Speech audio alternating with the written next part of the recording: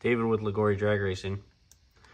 And today I'm going to go over O2 closed loop auxiliary by time after two-step.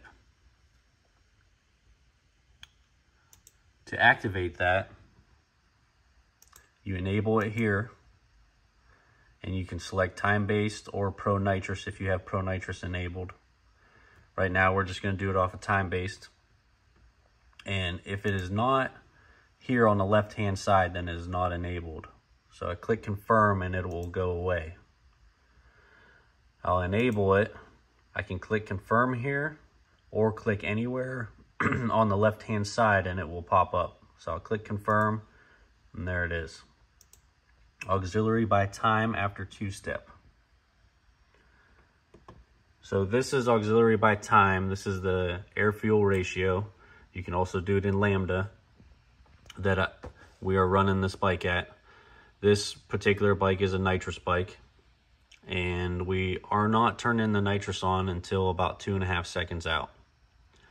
So it's running on motor here and then we start turning the nitrous on and I'm dropping the O2 closed loop and about six seconds is uh, where 100% is. So at 100% nitrous duty cycle, I have the O2 closed loop all the way down to 10.8. And this, in between here, it's ramping uh, from zero all the way up to 100%. And we can have an auxiliary by time based control limits.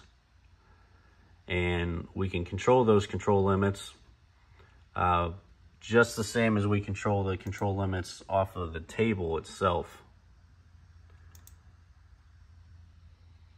And we can change the time on that by setting up the axis.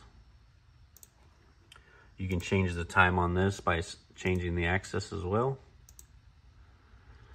And here's what it looks like during a pass. So you can see it starts out on motor and then the nitrous comes on a little after two and a half seconds. And then the O2 target is just continually dropping until six seconds when the nitrous is 100% and it runs out the back door with a lot of fuel going into it and a lot of nitrous. So that's how you set up auxiliary by time.